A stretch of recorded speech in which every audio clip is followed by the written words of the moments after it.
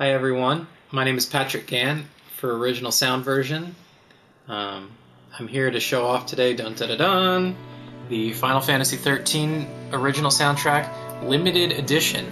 Uh, now, if you click right here, um, you're going to find uh, Jayson Napolitano's video for the regular edition of the soundtrack.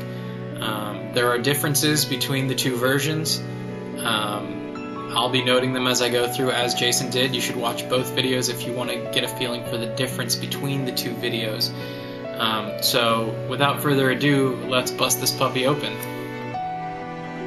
Now, the box I'm opening, this is just, um, this isn't even that decorative of a box. It's white and purely utilitarian. The front is the only thing that has anything on it. The back and the sides are nothing. Um, the first thing we see here is a book. This is the Final Fantasy XIII visual book. Um, something similar to it is in the regular edition. This one has the same liner notes, uh, composer, producer, director liner notes in it. It has more art, and obviously it's larger. Um, most of the art is CG art. Um,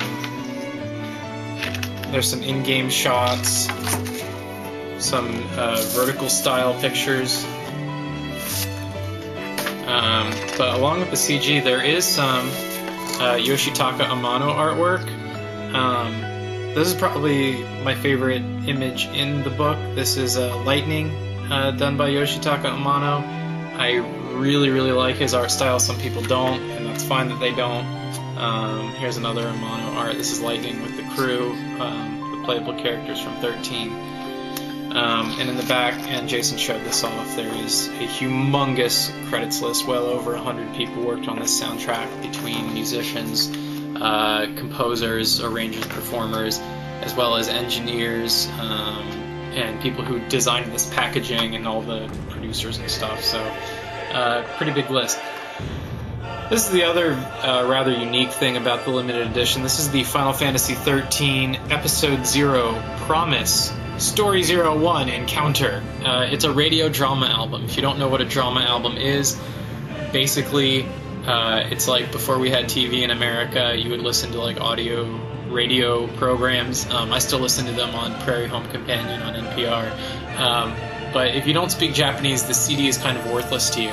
It's 20 minutes long, seven tracks, um, and other than the disc itself, the book, which is a listed as a scenario book. It's actually the entire script um, done manga style, back to front, um, right page and then left page, and then you read right to left and then top to bottom.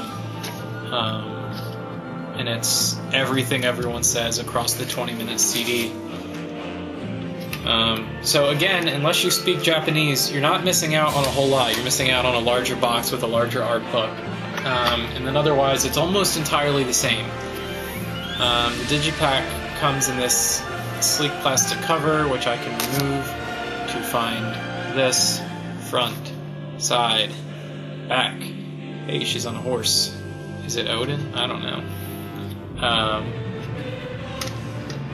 track list here. Um, the track list is in Japanese and English entirely. Not everything comes out entirely uh, right.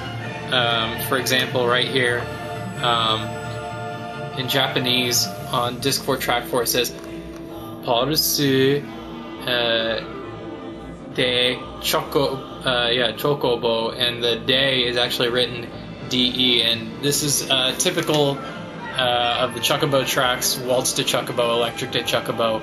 Um, they didn't translate it as Pulse de Chocobo, they translated it as Chocobos of Pulse. Now there's a pun there because the world of this game is Pulse, so it works, but um, still.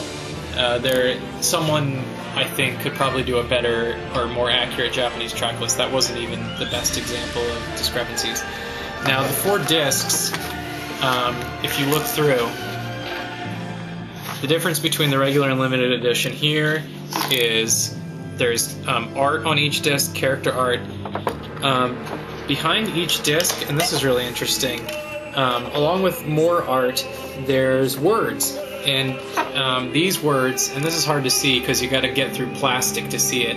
Um, the words are lyrics to songs that are on the disc.